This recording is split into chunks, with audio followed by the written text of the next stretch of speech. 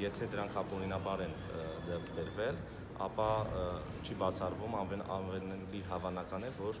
բռնագանցվի։ Այդ պարագայում նվիրելը ձեր ասած այդքան էլ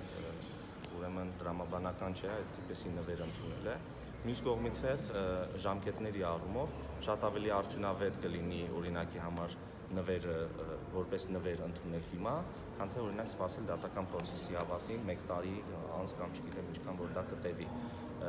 Ինչ վերաբերվում է կառավարմանը, արդյունավետությանը, հյուրանոցի կառավարմանը, բնականաբար մենք չենք կարծում, որ լավագույն կառավարումը հենց մենք պետք է իրականացնենք եւ ավելի հավանական է այն տարբերակը, որ պետական, ասենք գույքի կառավարման կոմիտեի բալանսին գրանցվելուց հետո կարճ ժամանակում հայտարարվի աճուրդ, աճուրդ եւ